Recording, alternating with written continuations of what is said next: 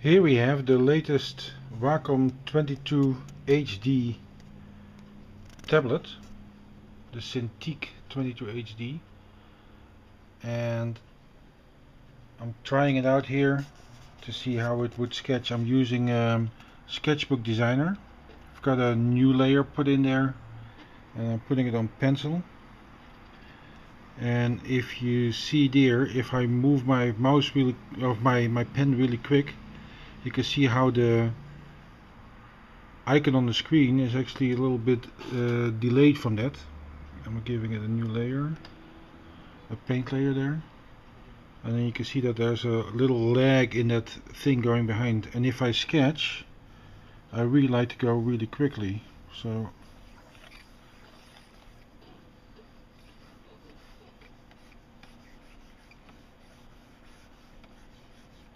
but to be really honest I'm not really looking at that icon at all when I make this.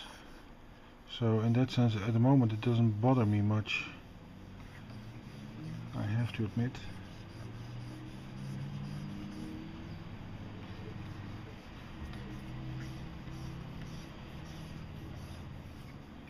Now let's see where we can end up with this thing and see because I've been trying this uh, Cintiq out now for a couple of weeks just to see if it would be useful to get over the um, the normal Wacom tablet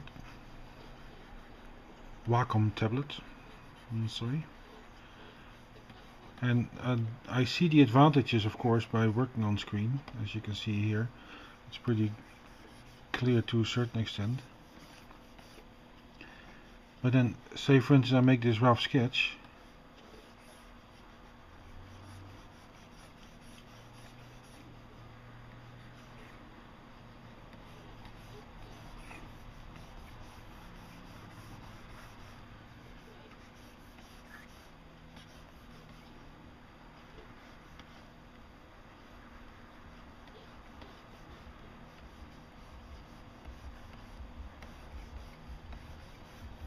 and now I want to go in and closer and really tighten the lines up. So I make a new layer. And I'm going in here and I want to get exactly there to the dot and make this radius for instance a little bit tighter. Now I have to admit I'm not at all looking at the icon here that circular thing with the arrows on the screen at all I'm really looking where I put my pen tip or my pencil tip in this case to see what I'm doing which I and if you look here there's a quite a distance even there between the material thickness of the glass layers here and so where the pen supposedly touches the paper is quite significant. Now I must admit if I if I say this is it's pathetic because on the other hand I'm drawing on a normal Wacom tablet without even getting close to the screen at all. So I'm guessing I'm looking up while I'm drawing down with my hands down so I'm not even looking at that. So I have the luxury already of looking at this so in that sense it's pretty darn good. But it would be ideal if there was a less of a height difference between these two. You see what I mean so now I'm roughing this. See? And it's pretty you can get to the right point but it's not ideal. And I know that in this program okay you can make a path and the path uh, you can uh, sketch along the path and that sort of thing but that's not the objective.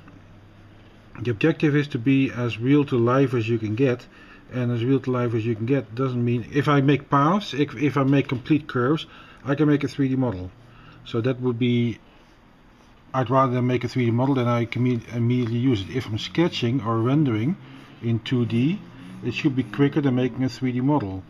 If I have to make curves, then it's not quicker than making a 3D model because then it's just slowing me down by comparison. This should be really instantaneous and that's my, at least that's my logic behind this thing and and I would like to stick to that because it makes sense to me.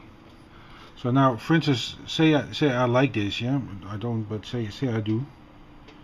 See I'm making these curves here tighter. And I'm getting uh, my obligatory ship's curve out here. Sorry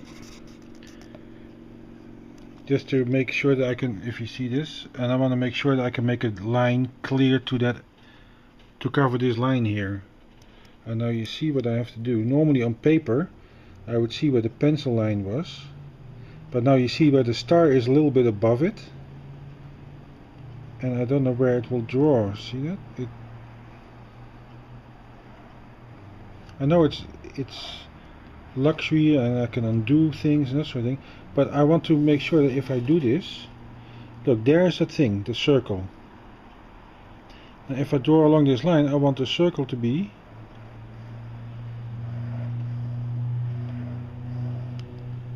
okay now see if I can draw exactly on that line again.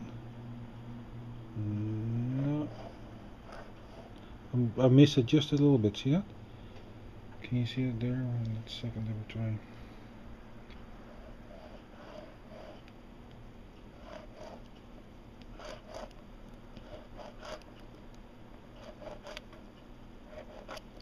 So I think for, for sketching, it, it works ideal. I mean, I'm sorry if if it's I'm, I know I'm finicky with this whole thing. It's it's it works, um, and it's better than than a conventional tablet and in that sense it's a luxury to have but if then uh, if there's any chance of these getting a little bit more closer a little less thickness maybe or the serve some some somehow the projection a little bit closer to the outside that it seems like it that's one thing. Secondly I like the widescreen of it the widescreen format of this thing.